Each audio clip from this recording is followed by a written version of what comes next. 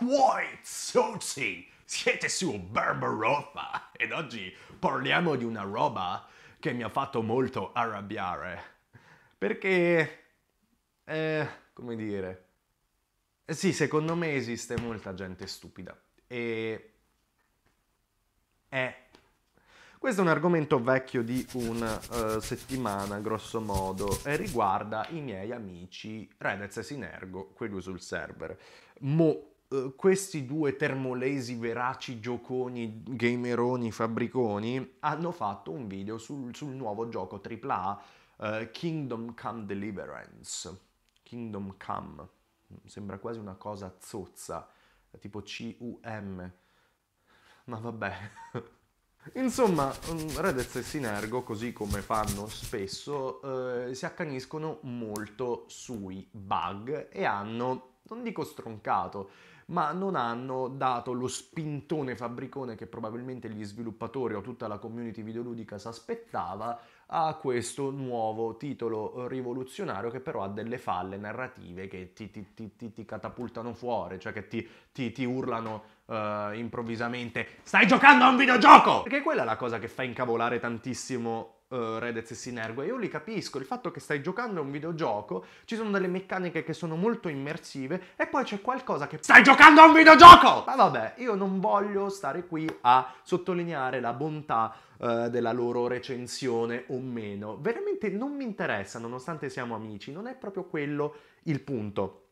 Loro lo hanno fatto con molta eleganza, eh, con dei toni molto morbidi, senza flame, senza ferro né fuoco. Ma io non sono quei due sul server, o sbaglio? Quindi, come si suol dire, se a un coglione gli dici stupidino, quello si ricrede e, e, e, poi non hai fatto il tuo dovere. Un coglione lo devi chiamare coglione. Mm?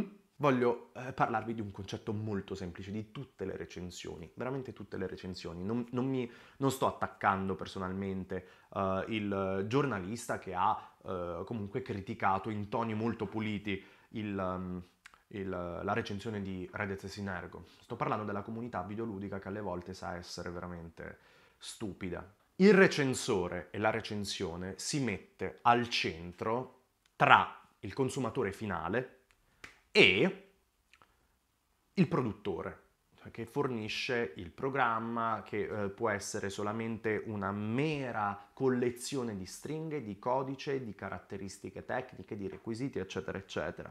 Il recensore deve fornire assolutamente una visione personale di un prodotto, una visione che deriva da un impiego e da un filtro fatto di carne ossa, sangue, lacrime e anche cacca perché siamo fatti di cacca. Tranne le donne che non fanno mai la cacca, questo lo sanno tutti. La cosa che mi fa veramente uscire fuori dai gamberi è il fatto che ci siano dei, dei deficienti, sono veramente dei deficienti, che accusano i recensori uh, di fare della disinformazione semplicemente perché danno un giudizio personale e, e dicono è un giudizio uh, personale. Esempio mio, così evitiamo di difendere magari uh, Redez e Sinergo e difendiamo un po' i recensori come categoria. Ho fatto un video una manciata di tempo fa che potete reperire in cui vi parlo di quanto mi sono trovato male con l'iPhone 7 e ho detto delle cose molto personali, francamente delle cose molto personali neanche ho menzionato delle caratteristiche tecniche, era una sorta di racconto della mia esperienza di utente e di una collezione di disavventure personali da esperienza utente. Non mi puoi tacciare di disinformazione, imbecille. Mm? Perché la disinformazione è dire che magari l'iPhone 7 è un formaggio francese, quella potrebbe essere disinformazione. La disinformazione è dire che Kingdom Come Deliverance è un programma di video editing, quella è disinformazione, ma dire che io con l'iPhone 7 mi sono trovato molto male e ho avuto dei problemi e mi sembrava macchinoso e che preferisco l'Android è una semplice eh, recensione, poi te lo spiego nel dettaglio perché e ti dico cosa mi è successo.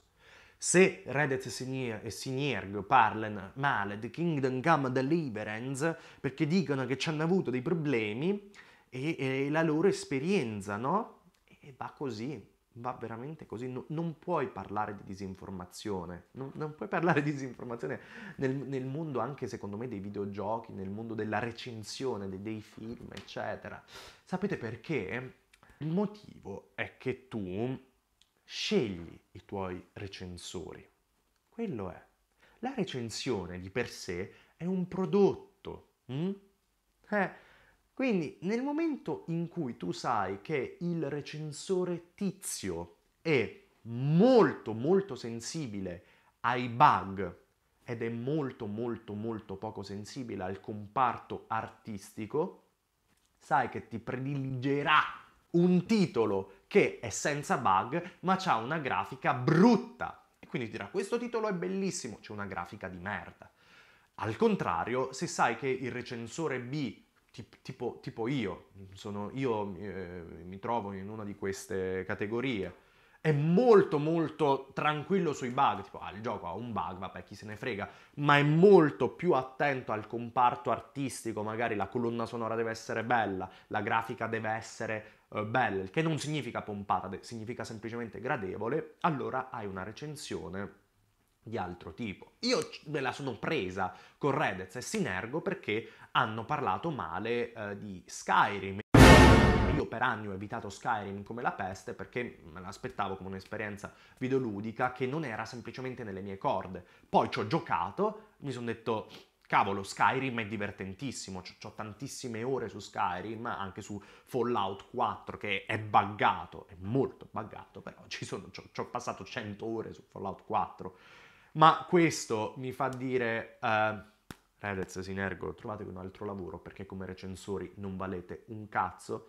No, semplicemente nel momento in cui ascolto una delle loro recensioni, tengo presente del fatto che loro sono più sensibili a certi parametri e meno sensibili a certi altri parametri. Ok, eh, io quello che dovevo dire l'ho detto e uh, se mi scusate un secondo mi preparo con il mio impermeabile a ricevere questa bella pioggettona di merda che mi arriverà da tutti quelli che Barbaroffa, ma io non sono scemo, come ti permetti? Tu non capivi un cazzo quando parlavi di videogiochi e continui a non capire un cazzo, la shitstorm sta arrivando e ci prepariamo anche con questo. Ah, ah, mi sono pinzato la barba nella zip.